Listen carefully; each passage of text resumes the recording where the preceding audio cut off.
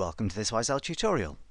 In this video, we're going to explain how to use the pivot operator in Microsoft SQL Server. The video is all about how to create basic pivot tables in SQL Server, and we'll start with a basic explanation of what the pivot operator actually does, and how it compares to the standard group by clause in a select statement. We'll then break down how you go about building a query to generate a pivot table, starting with how to select the base data, then moving on to show you how to create a temporary dataset, and then finally how to apply the pivot operator to that dataset. We'll then show you a few tips and tricks with pivot tables, including how to quickly generate the column list that ordinarily you would have to manually type in, We'll show you how you can create row groups in a pivot table as well to generate sort of cross-tab style queries. And finally, we'll just mention quickly how you can order the results for both the rows and the columns in a pivot table. So let's get started. Let's start with a quick look at what the pivot operator actually does. So the standard way to group data in a SQL Server query is to use the group by clause.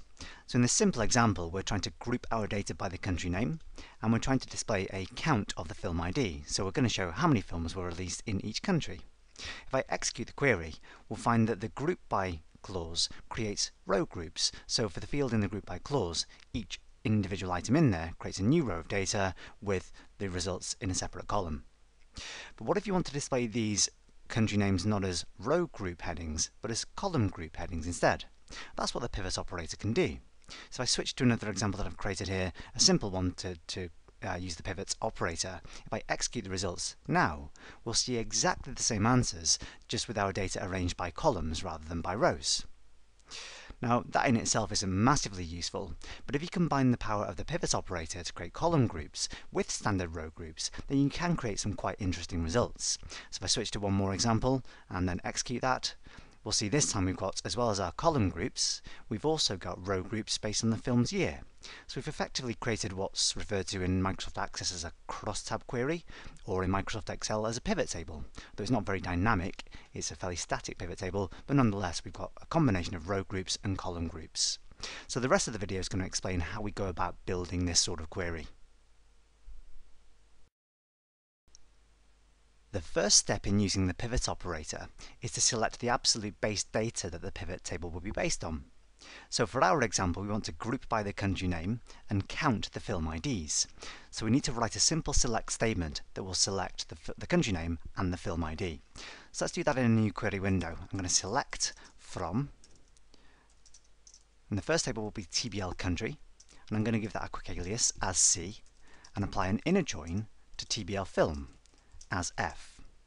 The two fields that join those tables together are on c.countryid equal to f.filmCountryID. So that's fairly standard join code. In the select list then, I can choose country name, and the second column will be film ID in this case. I'm just going to count how many there are. Your aggregates, though, can be based on anything, so you're, you're, you're welcome to use the sum, average, min, max functions, etc. So you might want to choose something like film box office dollars or budget dollars if you wanted slightly more interesting statistics. We're going to stick with a basic count, though, of the film ID. So there's our base query, which returns the basic data, a quick execute to make sure that it returns the correct results, and that all looks sensible. Now ideally for the next step, I could just apply my pivot operator directly to the results of this select statement, but unfortunately I can't do that. In order for the pivot operator to work, we have to create some kind of table-valued expression that we can apply the pivot operator to. So we have a variety of choices here. We could use derived tables, or common table expressions, CTEs, or we could even create temporary tables. For this video, we're going to use a quick and simple derived table. So to do that with our basic select statement, what we're going to do is, first of all, wrap up the select statement in a set of parentheses, and then we're going to apply an alias to this. So we're going to call this derived table as base data. And then we simply need to say for our purposes, we want to select everything from this derived table. So we do that above the derived table, I'm going to say select star from all the results of this derived table.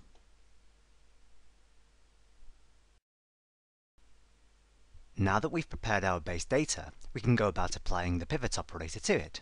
So I'm going to do that on the next line. I'm going to write the word pivot and then open a set of parentheses and a few lines later on I'm going to close the parentheses and then give this pivot table an alias. I'm going to call mine inventively as pivot table. What we then need to do within the pivot operator itself is specify a couple of different pieces of information. And the first one's nice and easy. We need to specify which field we're applying an aggregate to. So for us, we're, we're applying the count aggregate function to the film ID column. So that's nice and simple and straightforward. On the next line, we then have to say which column from the base data we're pivoting our data on, so which one we want to become the column headings. So for us, we say that by saying for country name. Now the next bit is the most irritating of the whole process.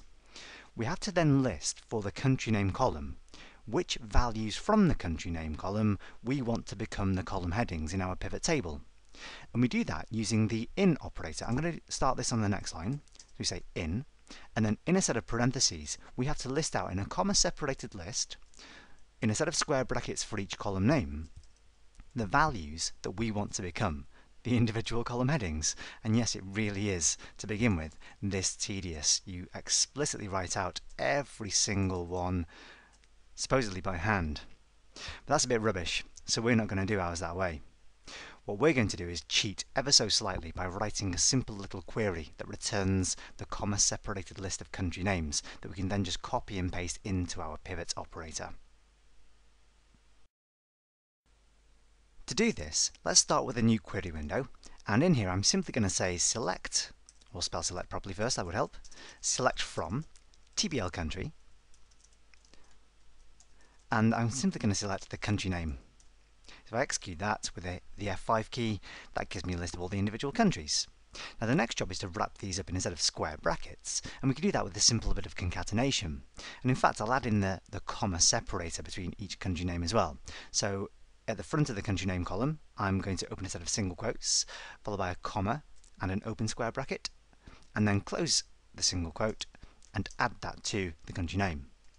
At the end, I can then add on the close square bracket in a, in a pair of single quotes, and if I execute that, we end up with a list of country names stored in square brackets with a comma in front of each one.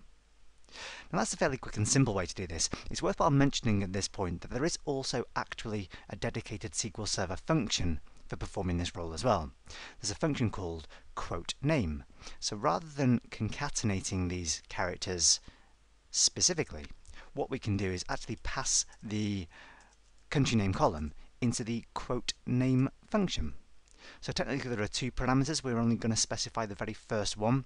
So by default, if we pass in the country name column into the quote name function, that returns the individual values stored in square brackets. Just out of interest, the second parameter of the quote name function allows you to specify which character you want to use to store the um, to store the um, country name in. So if I put in a pair of round brackets, it, it shows me the country names stored in a set of round brackets. If I wanted the country name to be quoted in single quotes, I can put in a pair of single quotes and it will quote the country names in single quotes instead. But of course for us we definitely want the square brackets. So let me take away the second parameter there. Then all I need to do is tag on the um, the comma in front of the country name. So let me tag that on again. I'll have a comma plus the result of the quote name function, and that gives us roughly what we're going to put into our pivot operator. So all I need to do now is select the results of the query and then copy them, and quick right click and copy or control and C, and then head back to the other script where our pivot operator sits. And I'm going to delete first of all the ones that I started typing in. There's no point having those in there twice. So let's get rid of those. So I've got the in operator and the open and close parentheses. All I need to do now is paste, so Control and V or right click and paste. I need to take away the leading comma for the very first column, so let me just delete that. And just to tidy up a little bit, I'm going to indent these columns. I'm going to select these uh, lines of text and press the Tab key a couple of times to indent them. And that is the quickest and simplest way to generate your list of column headings. So now that we've done all this, we can just execute the entire thing and hopefully see the results of our basic pivot table. So there we go. We've got the individual country names listed out as column headings with the same counts of the film IDs as we would have had we used the basic group by clause. In the examples I showed you at the start of the video, I mentioned that it was possible to include row groups as well as the column groups in a pivot. And the good news about this is that it's remarkably simple to do. We don't need to modify anything about the pivot operator at all. All we need to do, if we want to create a row group, is include an extra column in the select list of our base data. So, as well as having the country name and the film ID, I'm going to include the, uh, a simple calculation to calculate the year that the film was released in. So I can do that using the year function, and I can say year film release date, and I'll give, this an alias as well, I'll call it as film year. I don't need to change anything else at all now. Having included that extra column in the select list of the base data, when the pivot operator works, because we haven't specified otherwise, we've specified that the aggregate is the film ID, and the column headings will be from the country name, any other column that's from the select list in the base data will automatically form row groups in the pivot table. So if I simply execute the query now, I'll see that I get a column full of um, film years.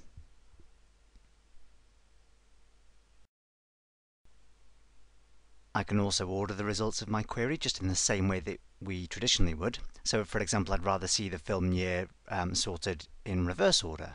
Then let me just remove the results panel by pressing Ctrl and R. I can add an order by clause to the end of the entire select statement. So I can say order by film year in descending order. If I execute the query again now, we'll see the later years appear at the top of the list.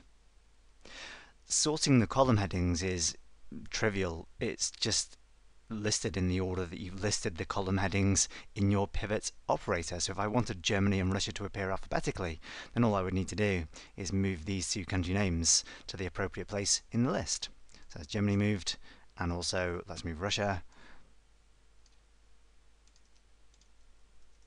And execute the query again, and we'll see the column headings now come out in the order that we've listed them this time.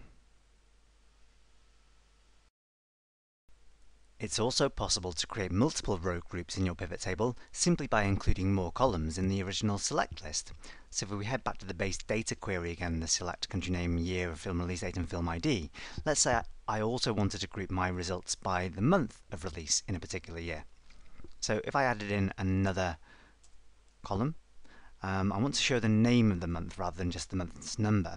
So I'm going to use the date name function here to calculate the month of the film release date. There we go. And I'll give this an alias as film month.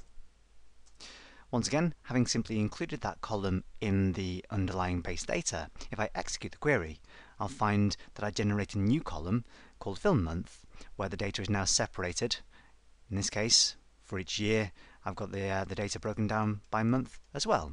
It's sorted alph alphanumerically, of course, um, because I've generated text. It's sorted alphabetically, which is why the months don't appear in chronological order. But you can see that for each year, I get a separate row for each month in which films were released. So, apart from the actual basics of creating the pivot operator itself, and of course by far and away the most annoying part is generating this list of column names.